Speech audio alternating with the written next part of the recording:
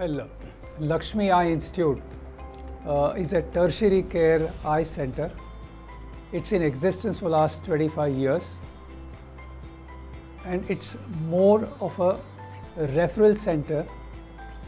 So we cater to a very large section and different strata of a society where we have patients who come from rural areas as well as people who come from urban areas.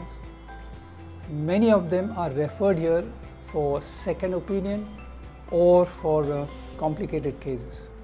So, the kind of cases that we see here is a wide variety and the one more advantage that we have here is that uh, many of them do not come with any, any preconceived idea of uh, what kind of vision they are going to get after the surgery. So it's easy for us to really educate them and mold them into the kind of vision that a newer technology can offer.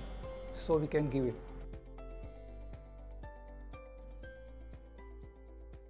Well, I'm using RayOne uh, EMV for last almost six to eight months.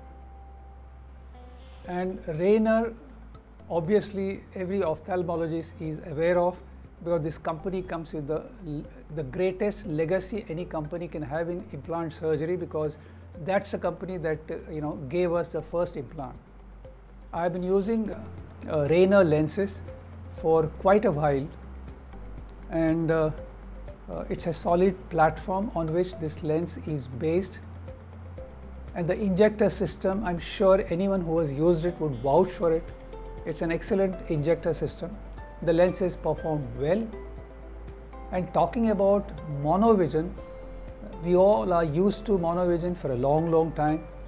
We have used it with our patients of myopia who are on contact lenses successfully. And then when the EDOFs came the monovision was tried in a modified way called micro monovision and we are we were quite aware of it but this was the first time that RayOne came with a lens dedicated for extended monovision that's a, that's the beauty of this lens so it was natural that if you have to opt for a lens which would reduce the dependency on the glasses yet at the same time use that monovision in a more technologically advanced way, then uh, RayOne EMV was the obvious choice.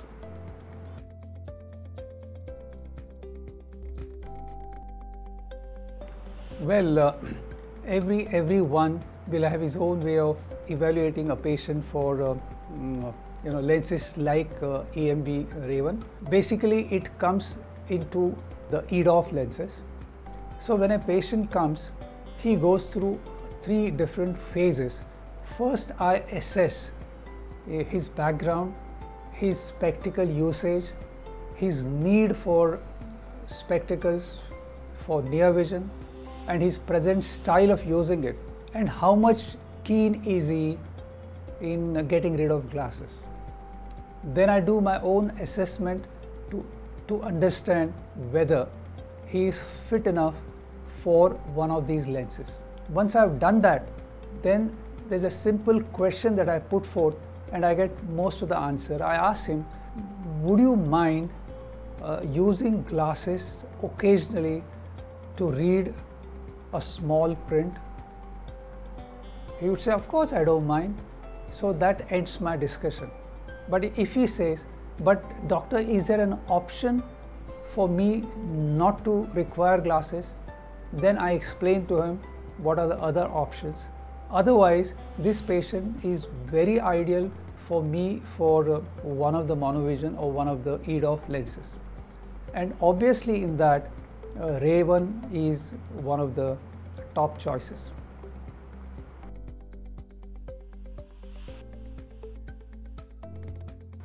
Well, uh, again, it's a, uh, a very individualized way of explaining First, I tell him about the need of glasses after you become 45 years old or when you get operated.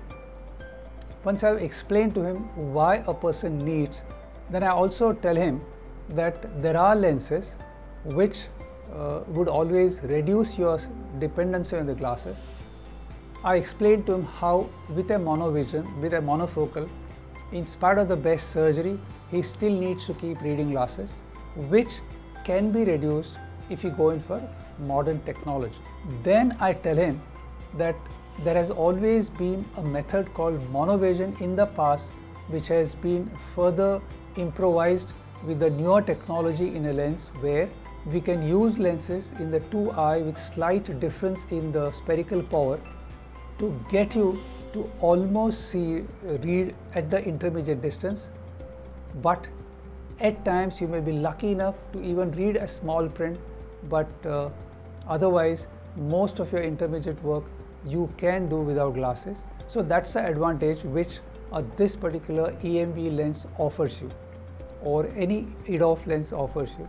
So sometimes uh, you know these are the things which appeal to the patient and uh, they kind of uh, uh, like to go in for that.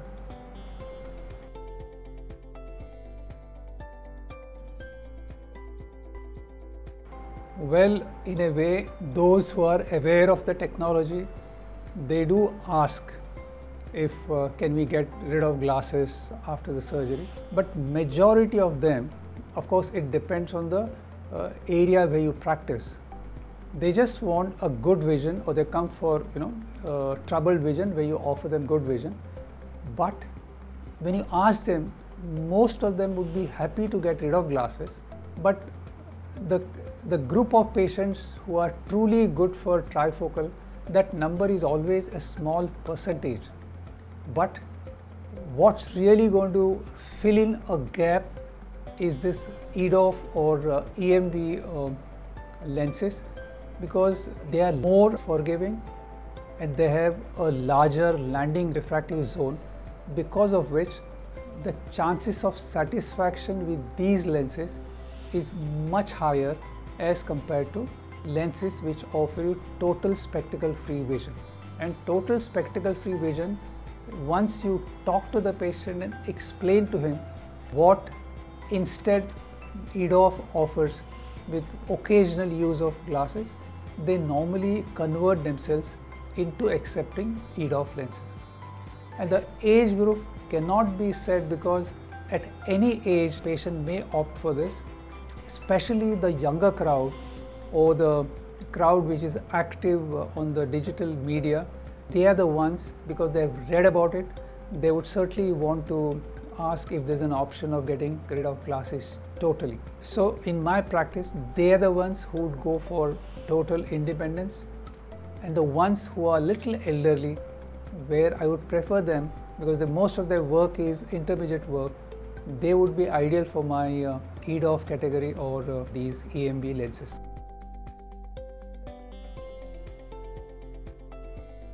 Well, talking about dysphotopsia, none of my patients have ever complained. And obviously, I don't expect them to complain because these are, you know, advanced monofocal lenses where I, where I don't expect any uh, dysphotopsia anyway. Talking about uh, their refractive outcomes, nearly 74% of my patients have achieved N8 or better for near and nearly 80% have got N8 or better for uh, intermediate. So my, my small series of 66 lenses used over last uh, 6 to 7 months have really given me very satisfactory results. See, most important is not how much they see, but how happy they are with the vision they get. And by that, that yardstick, I think my uh, patients with EMV RayOne or Raven are really doing well and happy and you know I have absolute no hesitation in offering that technology because it's a wonderful technology. Well, today the market is flooded with EDOF lenses and most of them offer good results. But because of the blended zone and because of the you know larger lending sweet spot, you know in these lenses I can still afford to make my less dominant eye little more myopic and still not be worried about missing out on the finer details for distant vision. So that makes me a little more liberal with this lens and the, the transition of this lens between near and distance is what really uh, you know makes this lens stand out. And when you when you compare you know the platform and the injecting system and the track record, this lens and plus our affinity and uh, past experience of uh, monovision, I think this and this is the only designed lens for monovision. So obviously this stands apart uh, in this uh, class of lenses. Well, in fact, uh, since this lens doesn't have a downside, it only has everything to gain. If someone who's really, really into these premium lenses, and once they're they've you know kind of uh, got used to using toric lenses and are happy with uh, toricity, and they're they're okay with these counseling pattern that's required for premium lenses, getting into EDOF lenses or uh, EMV lens is just another extra step. So I don't think that's any big issue at all. It all depends on how sensitive or how critical you are uh, in looking for astigmatism because once your toric practice goes up, then you realize the benefit of toricity in your lenses and you start looking for more and more of them and try and correct them. So by that yardstick, I, my, my practice has a very high percentage of uh, toric practice as well. So I think uh, as of today, I can tell you 25% uh, of my patients would require toric lenses, but that varies. But there are practices where the toric usage is less. They may be using some other alternative methods to uh, take care of the toricity. But uh, to me, 25% of my EDOF practice is uh, with lens.